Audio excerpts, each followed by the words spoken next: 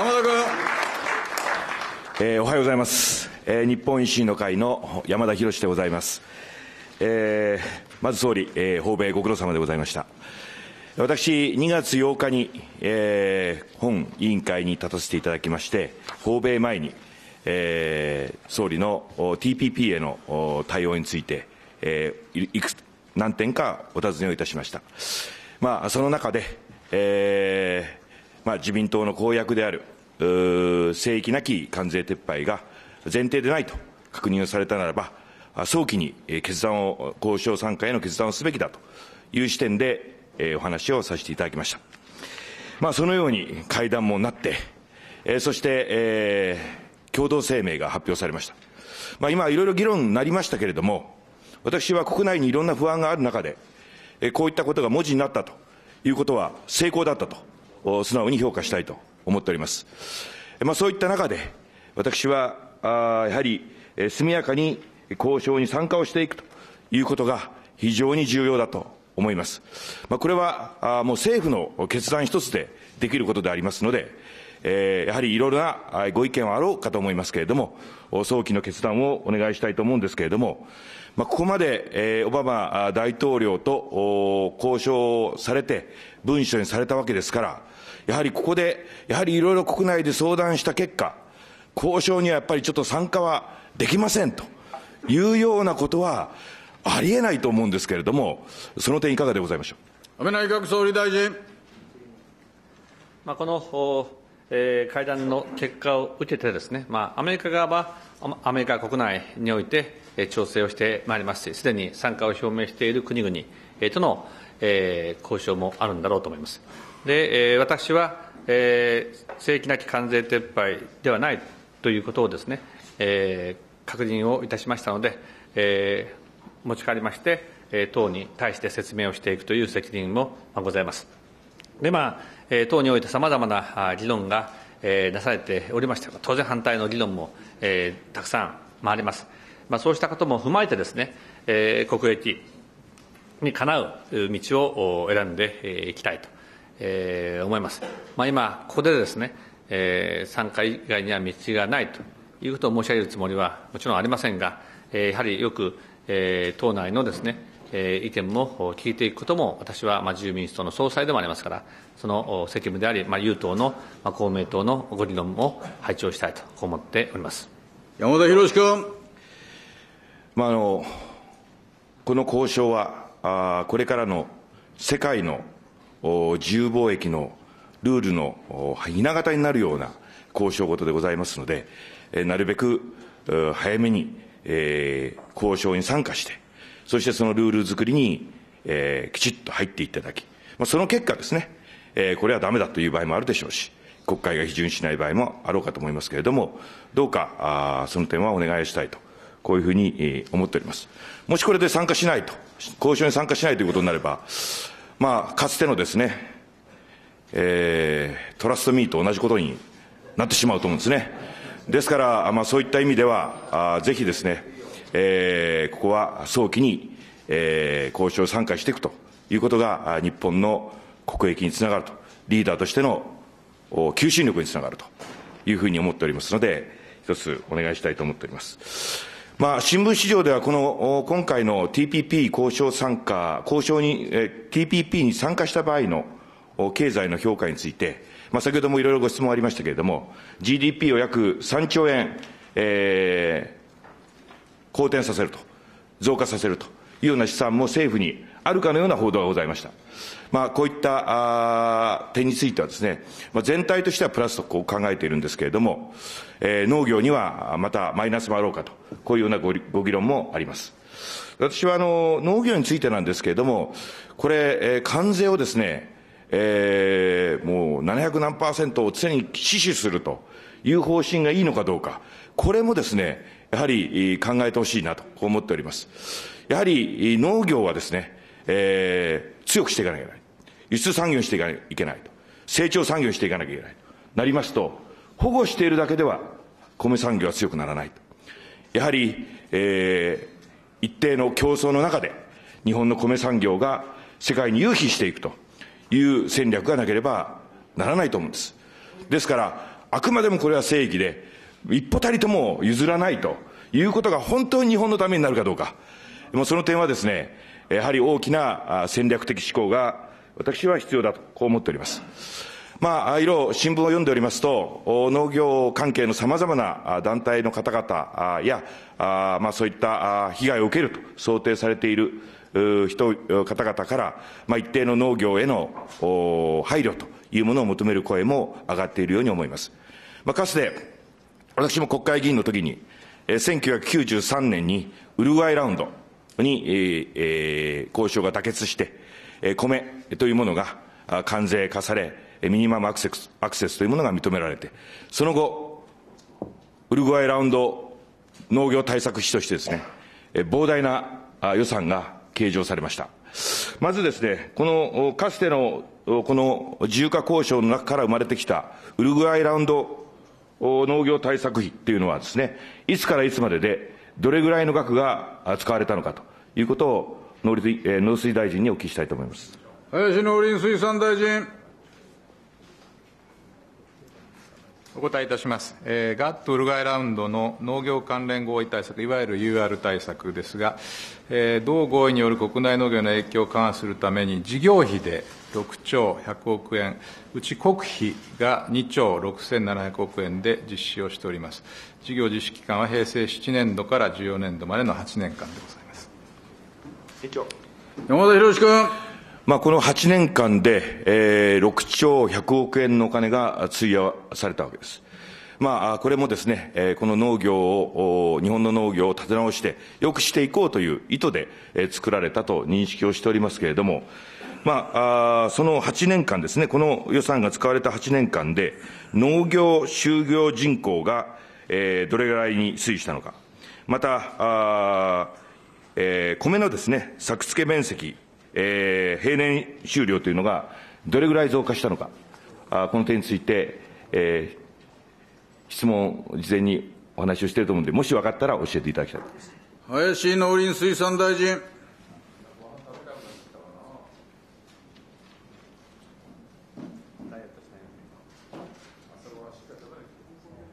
すみません、ちょっと正確に把握をご質問してなかったようでございますが、あの平成、え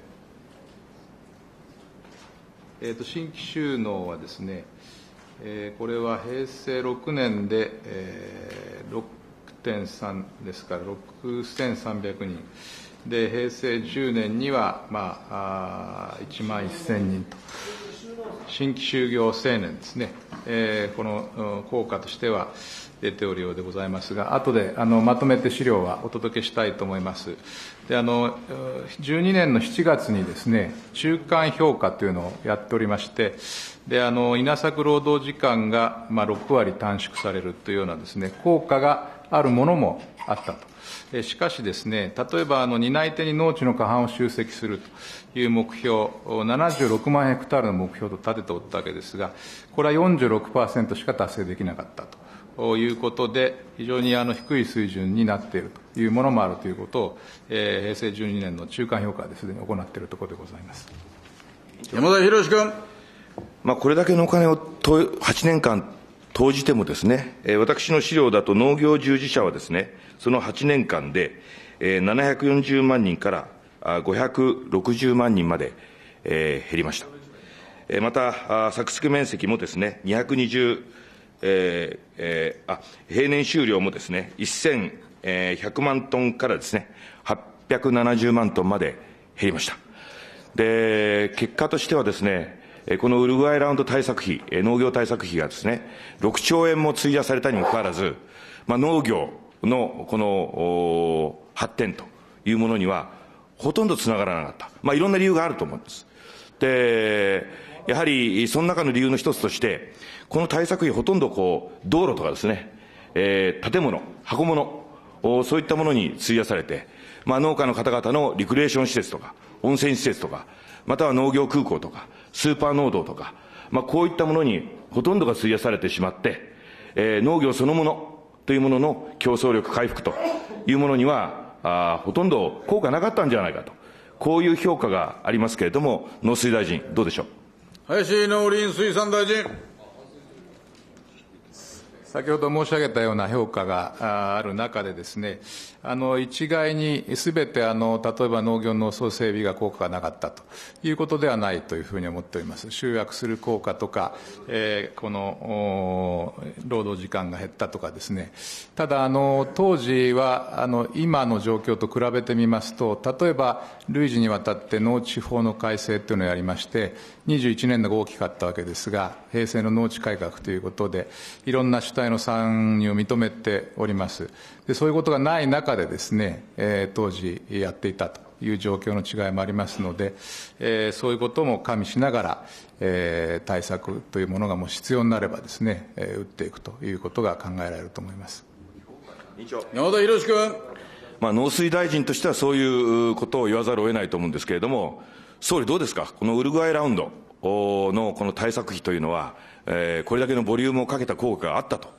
いうふうにご覧になってますか？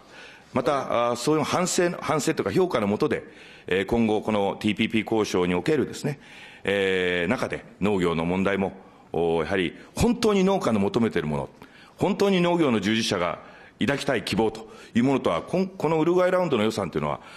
ほとんどなんか、あの、全部とは言わないまでもですね、えー、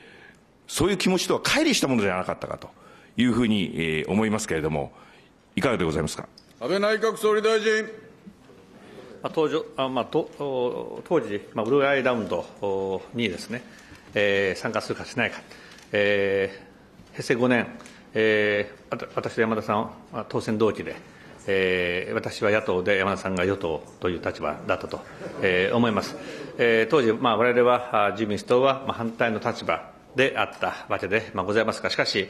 まあ、この予算についてはですね、まあ、基本的に、えー、これは、あまあ、確かにですね、補助整備等も進めて、まあ、集約化しやすい基盤は作ったとは思いますが、まあ、反省点も確かにですね、今、委員のご指摘で多々あったんだろうなと、まあ、このようには思います。まあ、そういう反省も含めながら、えー、何が必要か、えー、まさに農業がですね、若い人たちが自分たちの情熱や能力を生かすことができる分野であると、こう思ってもらえるような分野にしていくために何が必要かということは、まあ、この、まあ、TPP とは別に、えー、常に考えていかなければいけないし、まあ、今こそ考えていくべきだろうと、このように思っております。山田博君。まああの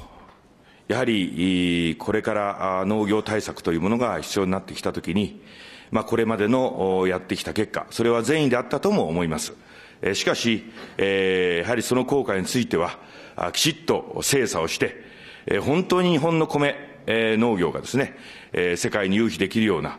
そういう環境を作っていく。それは補助だけではないと。やはり一定の競争環境というものを工夫して入れる必要があ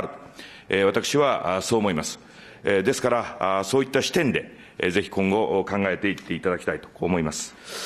次に、まあ、日米同盟の問題は、単に経済だけではありません。同盟といえば、やはり安全保障が基本的な柱になります。そこで、いくつかその点で、お考えをお聞きしていきたいと思いますけれども、まず、その前に尖閣の問題に、入りたいと思いますけれども、えー、今日の朝日新聞でですね、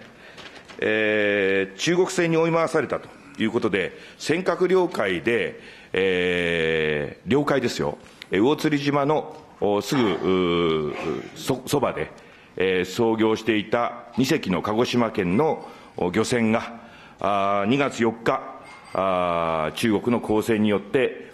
日本の領海内で追い回されて、えー、結局操業ができずに、えー、離れたと。いうような記事が載っておりました。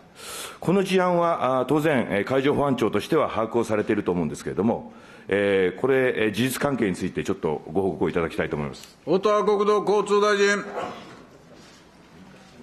えー、今日の新聞記事に中国船に追い回されたという記事が大きく出ておりますが、この事案については承知しております。えー、2月4日、尖閣諸島の領海内で、えー、海艦2隻が一時的に日本漁船に接近するような状況になりましたが、え中国側の活動の意図については、え承知していないところでありますが、事実については、えーよく分かっております。えー海上保安庁では、えー海艦2隻に対しまして、えー巡視船により退去要求を行い、えー公海外へ退避させたという事実でございます。山田博君。えーということはあの、漁船が当然ながら操業しているということは、あ海上保安庁は当然認識をされていながら、そこに、まあ、あ中国の公船が、えー領海内に侵入してきて、そして日本の漁船を、おまあ、追い回すという中で、えー海上保安庁の、おまあ、巡視船もですね、えーそのお中国の公船に続いて、えー追っかけごっこをしているというような構図になってたんでしょうか。太田国土交通大臣。えーその中に入って、えー海上保安庁のお船が、えー領海外に押し出すような形で、えーやったということでございます。山田博君。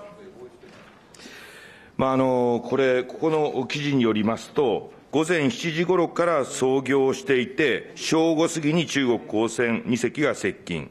えー危険回避のため移動すると、並走する形で、えーついて回り、午後5時ごろ操業を諦めたと。いう非常に長い時間です、朝から晩まで、えーこういった事態が繰り返されてあの、起きていたということで、えー船長はですね、えーまあ、えーこういったことが起きるとですね、本当、私もあの、魚釣島行きましたけれども、えー非常にもう魚影がですね、はっきり見えるぐらい、たくさん魚いますよ、大きな魚が。まあ、非常にいい漁場だと。えーこういういい漁場で、日本の漁船がですね、安心して操業できないということで、えーいいのかと。いう、ぜひ安心した操業ができるようにしてほしいというようなあ、えーコメントも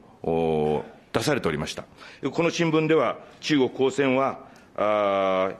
市海里まで接近してきたと、威圧感があり、臨検を受けないか不安だったという船長の証言もあります。まあ、こういった事態というのは、昨今、たびたび起きている事態なんでしょうか？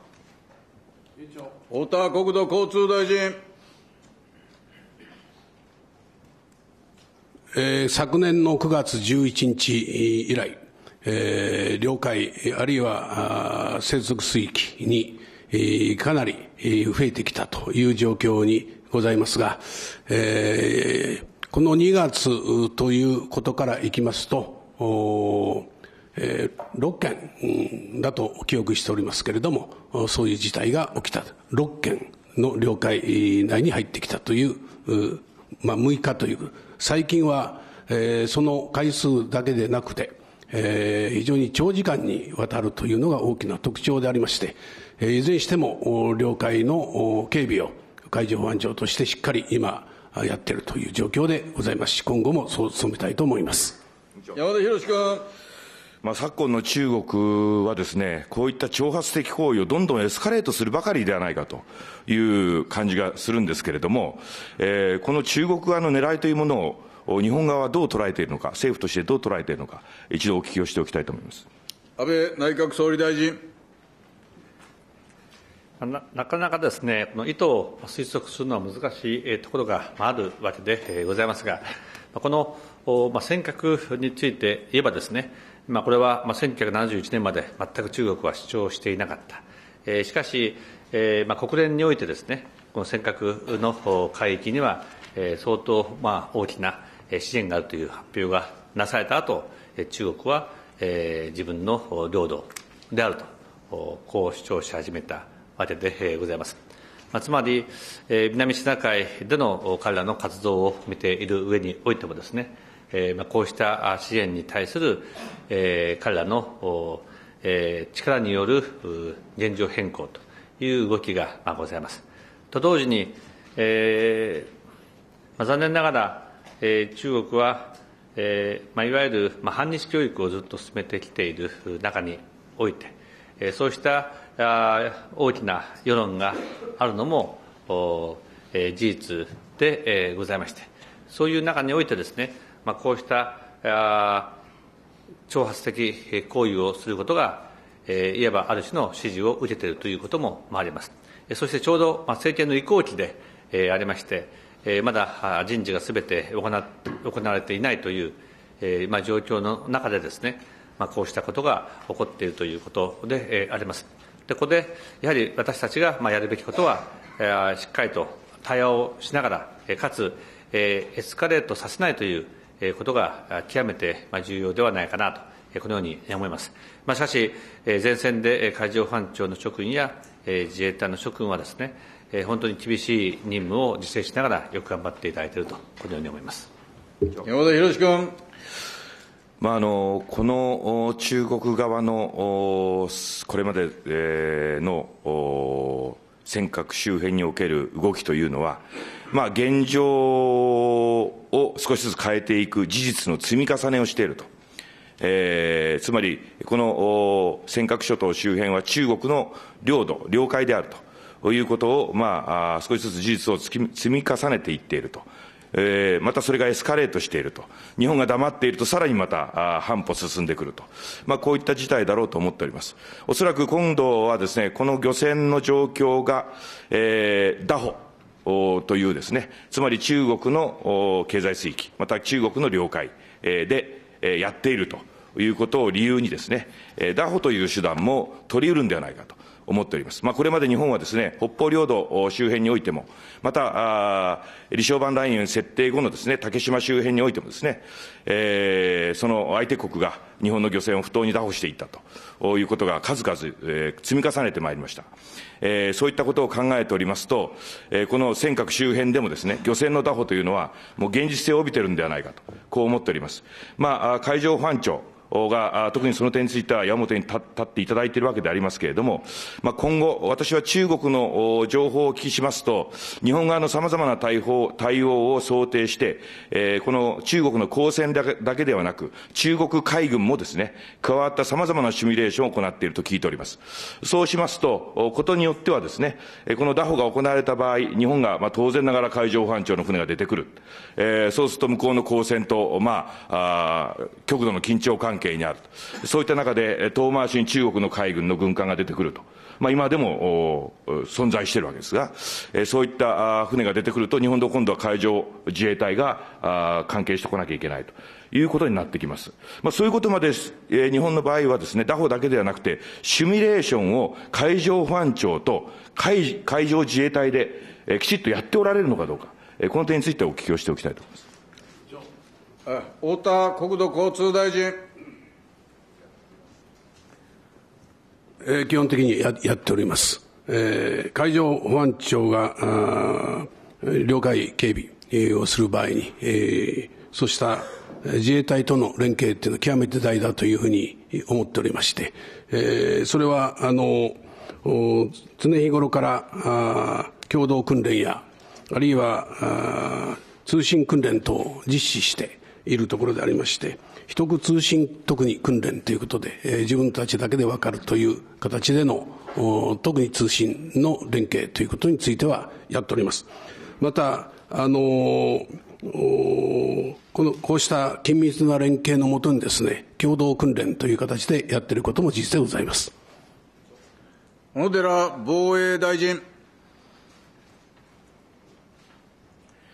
このようなあの、領海侵入事案につきましては、一義的には、先ほどお話がありました、海上保安庁の巡視船が実施をしておりますが、海上自衛隊としましては、平成より P3C により、尖閣諸島を含む我が国周辺海域において、警戒監視を行っております。また、さまざまな情報につきまして、あるいは公船等の情報につきましても、無線等により、海上保安庁と速やかな連絡体制を取っております。なお、あのご指摘がございました海保との共同訓練でありますが、平成11年以降、通信訓練は毎年200回以上、また、不審船への共同対処マニュアルというのを平成11年の12月に策定しておりますし、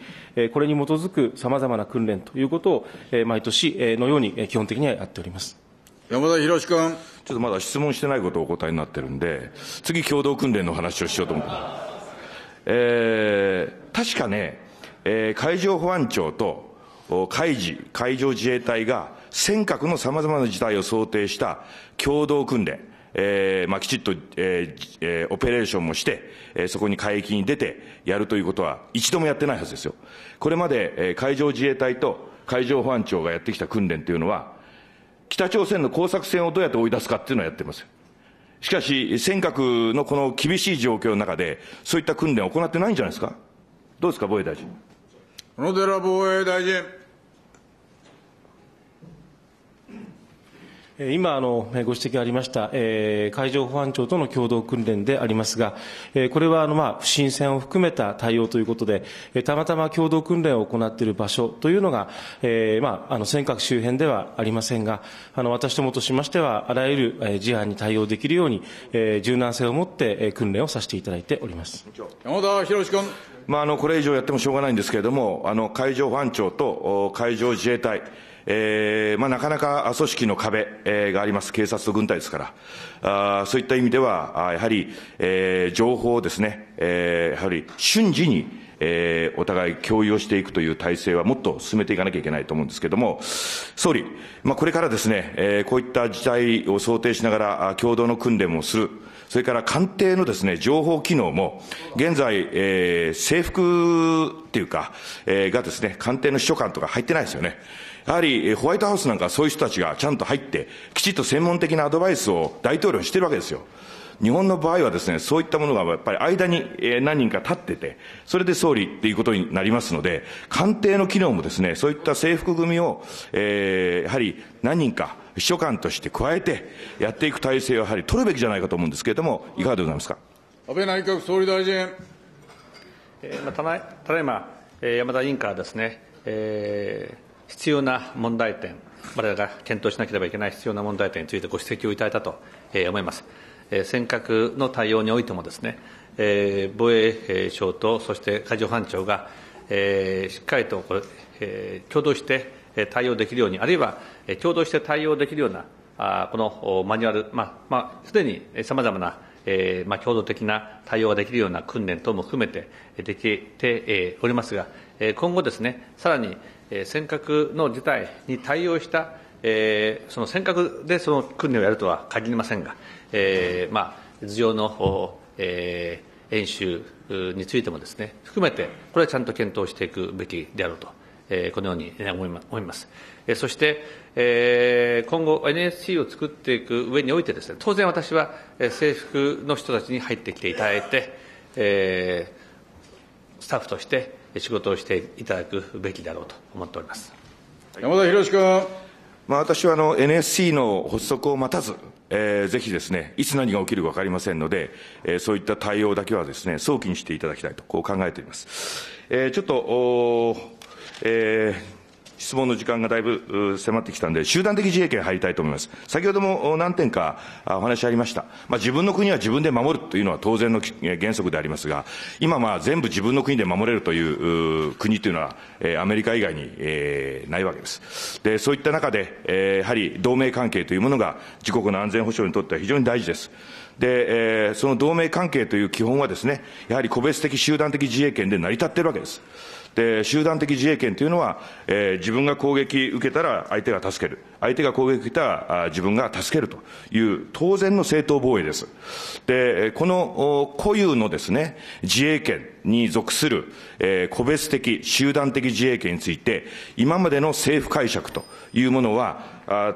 確か、あその集団的自衛権については、あそれを有しているけれども、行使は憲法上できない。えー、こういう政府解釈だと思いますけれども、その点、官房長官に確認しておきたいと思います。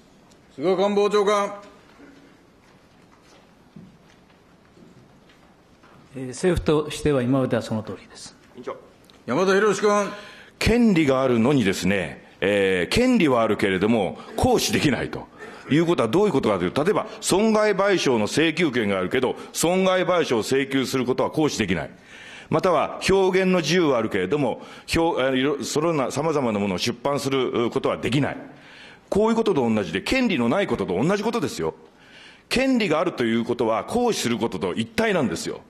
ですから、権利があるけど行使できないなんていうような馬鹿げた解釈をやっていけばですね、日本はどんどんどんどん、あの、私は、あこういった自衛、またはあ安全保障という面でですね、えー、遅れを取ってくると思うんです。えー、2年前にアメリカのアナポリスというですね、海軍士官学校に行って、え、お話を聞いたことがありました。日本の自衛官も来てました。え、その中でですね、私が質問したのは、日米の共同訓練の時にミサイルが飛んできた。そのミサイルはアメリカの艦船を狙っている。または日本の艦船を狙っているという想定なのか。どちらの艦船を狙っているかわからないという場合もあるじゃないか。だけども集団的自衛権が認められないから、えー、アメリカの艦船を狙っている場合は日本の自衛艦はですね、自衛の船はですね、軍艦は動けない。対応ができないという、こんなような想定をしてるんですかと聞いたらですね、そんなことはありえないと、アメリカの軍事は答えてたわけです。ただ日本の海軍の武官はですね、海上自衛隊の武官は、えー、もう間に立って、いや、いろいろ考えておりますということで、現場は大混乱ですけれども、えー、やはり私はですね、そろそろ、こう、安倍内閣になって、えー、この問題はですね、えー、やはり決着をつけるべきだと思うんですけれども、一般論として、権利があるのにですね、行使ができない、なんていうような権利があるんですか？菅官房長官。あの、安倍内閣としてですね、この集団的自衛権について、先般、今ご承知だと思いますけれども、懇談会を立ち上げました。えー、そして、えー、これはあの前回のですね、報告書を踏まえる中で、安全保障の変化の中で、我が国の平和と安全、どうしたら守ることができるのか。まあ、そういう議論を今、始めております山田博君。いやいや、権利があるのに行使できないという権利はあるんでしょうか？菅内閣官房長官。一般論。一般論。あの一般論というよりも、今後そうしたものをですね、この安全保障のこの懇談会の中で、私たちは議論を踏まえながら、新しい安全保障について今、対応を検討しているところで、ということでご理解いただきたいと思います。山田博君。まあ、内閣法制局は代々ですね、えー、受け継いできたこの解釈と称するもの、もうこういうのはですね、もう、やはり、えー、なんていうか、あ法律のですね、専門家による、専門家のためのですね、えー、全く現実を無視した議論でありまして、やっぱり内閣法制局は内閣の一員でしょそしたらやはり総理大臣がきちっとですね、その常識は権利があるけど行使できないなんてバカなことはあるかと、そういうような方針できちっとこの解釈は見直すべきだと。いうことを指示すれば私は思われると思うんですよ。こんな懇談会何回、あ、まあ、再開されましてですね、こういうことをぐちぐちぐちぐちやってもですね、その、いろんな、いろんな事態があるなんて、えー、令状4類型とかあったけど、4類型に当てはまられないものだって山ほどあるわけです。類型を上げれば上げるほどですね、あ、そういう場合は認められるっていうような限定列挙になってしまってですね、そんなことをやれば、あ日本の防衛を、あの、する場合ですね、適時適切な判断ができないと思うんです。私はもうこれはストレートにですね、えー、やはり集団的自衛権の有しているということまではもう決まっているわけです。これは判例でもはっきりしているわけです。ですから、有しているならば行使は当然できる。ただし、行使をする場合は、その当時の政府によってですね、慎重の上、慎重にも、また国会の議決が必要な、承認が必要な場合は、きちっと国会と相談をして、え行使をしていくと言えば済むんですよ。そういう懇談会を何回も何回も重ねてもですね、私は安倍さんらしくないと思う。だから、ここはですね、えー、やはりピシッと総理の見識を示していただきたいと思っています。安倍内閣総理大臣。えーまあ、先ほど、まあ、権利があって、行使できない、そんな権利があるのかという、まあ、ご質問でございましたが、あの維新の会の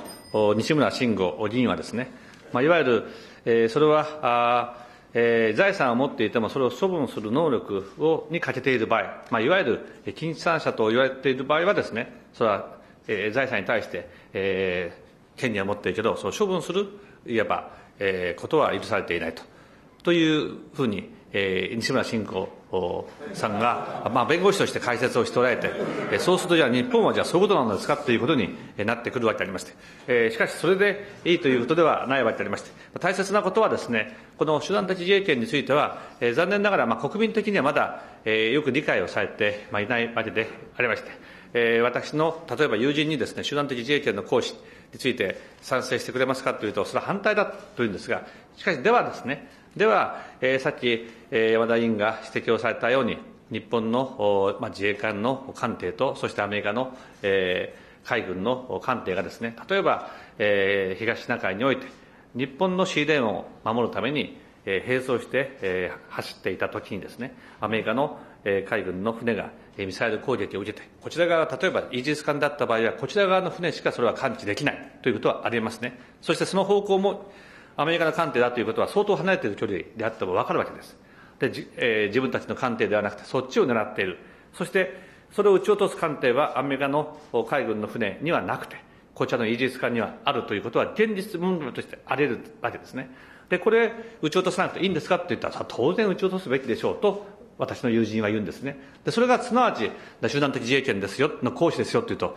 あ、それだったら行使すべきですね、とこういうふうに言うわけでありまして。例えば、ミサイル防衛においてもですね、す、えー、で、にアメリカのイージス艦もですね、この先般の中国のミサイル発射においては、日本海に配備をされていて、え北朝鮮、北朝鮮のミサイル発射についてはですね、日本海に配備をされるわけでありますが、このイージス艦とですね、日本のイージス艦は、この情報を共有するわけでありますが、ミサイルの功績を追う場合は、これは一時的にイージス機能を全部上に向けてですね、周りについての防備はこれは薄く、手薄く、手薄になるわけでありますが、それを例えば日本のイージス艦がですね、機能をいわば、え、補助する形になってですね、一体的にこのミサイル発射に備えているときに、え、そこに対する攻撃をこちらが探知をして、したときにですね、えー、アメリカのイージス艦を助けないということになればですね、これは、えー、日米同盟がえー、危機的な状況になるわけでございまして、まあ、こうしたことも含めてですね、まあ、ですから、えー、前回は4類型に、えー、おいて議論を重ねたわけでございますが、えー、国民的な、えー、誤解としてはですね、この集団的自衛権の行使を権利として認めたら、それは、えー、権利として行使をしなければならない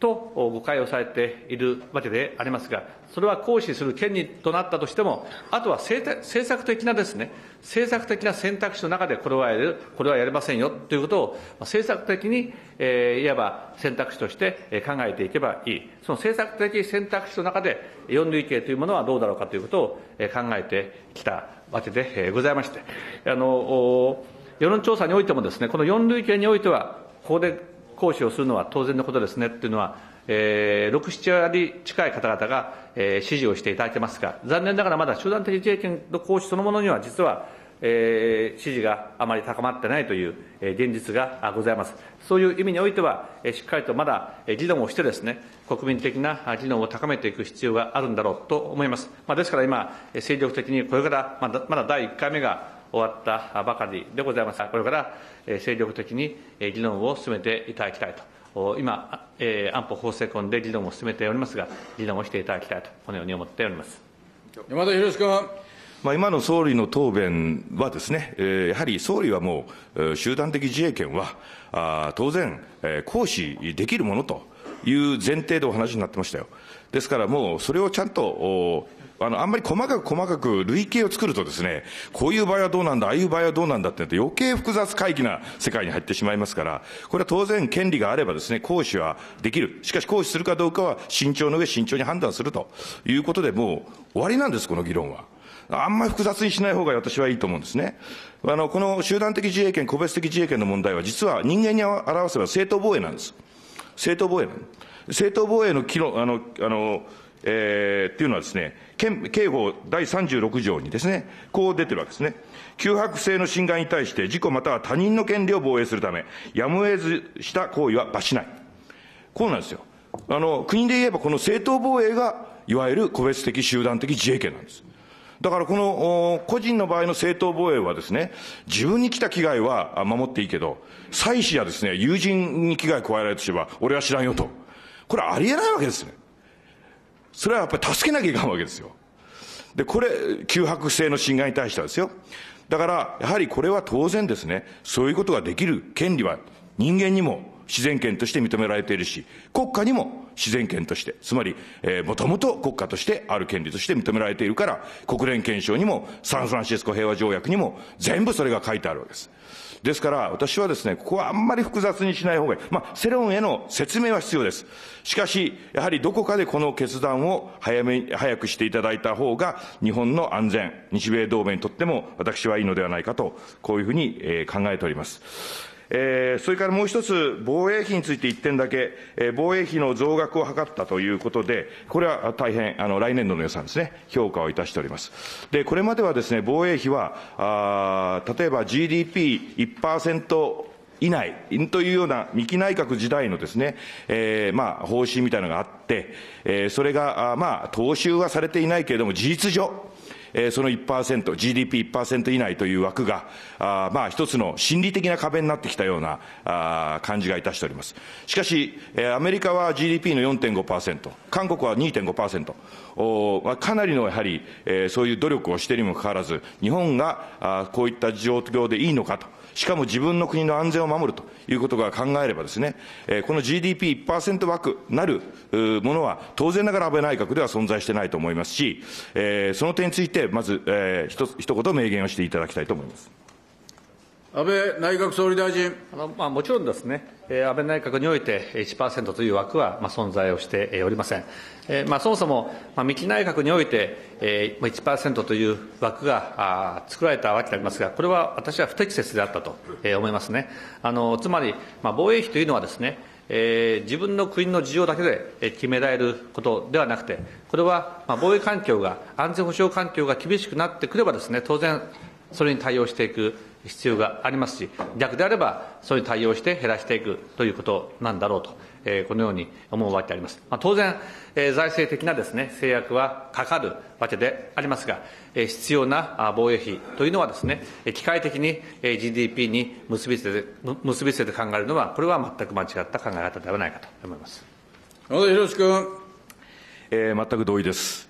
えー、私の時間あと2分、うん、ぐらいになりました。あ今メモが入りまして、11時に議運、えー、議員運営、えー、理事会においてです、議運の理事会において、日銀人事の提示があったという報告を受けました。まあ、このことについては今後、国会内で議論をして、両院で議論をしていくということになるんでしょうけれども、まあ、我々日本維新の会はですね、えー、過去とのしがらみがない、えー、政党であります。で、今回これ国民が見てですね、日銀の特に人事についてですね、まあ、取り沙汰されたり、ああだこうだと各党がいろんなことを言ってることについて、やっぱりよく国民から見るとですね、一体何がどう問題で、この人の何がどういいのかということがですね、はっきりわからないと思うんですね。で、そうするとどこでその人たちが明示的にあき、あの、今日で内示されたわけですから、名前がはっきりするわけですけれども、まあ、これまでの慣例でいきますと、議員運営委員会で、まあ、あいくつかこう質疑がある。しかもすごい短い時間のですね、えー、限られた人たちによる質疑、質問がある。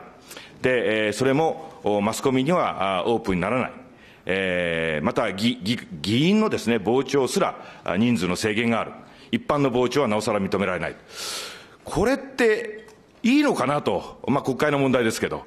感じております。で、アメリカなんかはですね、重要なそういった大統領指名の人事についてはですね、各担当の委員会で、えー聴聞会というのが開かれて、よくテレビでやってます。まあ、いろんな質問を国民の前で受けてですね、それ答えます。で、えー、そういった形を通じて、少しずつ、あ、この人はこういう考え方かということを納得をし、国民にも議論が湧き起こるわけです。そういう聴聞会の前にはですね、書面で、えー、その人に対して質問がすることもできる。いうような機会を作っています。やはりもう、前もって名前が出たからどうだこうだじゃなくて、名前が出てから、きちっと国民の前でですね、オープンな場所で、えー、その人人の考え方をもっと聞いていくという必要が、えー、あるんだろうと、こう思います。まあ、これは国会内で決めることでありますけれども、長年ですね、えー、与党、野党の立場でですね、こういった人事案件に関わってこられた総理としてですね、えー、ご所感を伺いたいと思っております。安倍内閣総理大臣。あの、今、えー、委員の質問を聞いておりましてですね、まあ、確かに、えー、国民の皆さんにとって、えー、非常に注目度の高い人事極めて重要な人事においてはですね、まあ、そうした山田さんが言われたような、え、この本人ご本人がさまざまな質問に対して答えていきながら能力を示し考え方を示していくという考え方も私は一つの考え方としてあるのだろうなと、まあ、こんなように思いました。あのこれは国会においてですね、各党各会においてよくご協議をいただきたいと、まあ、このように思います。山田博君。以上で私の質問を終わります。ありがとうございました。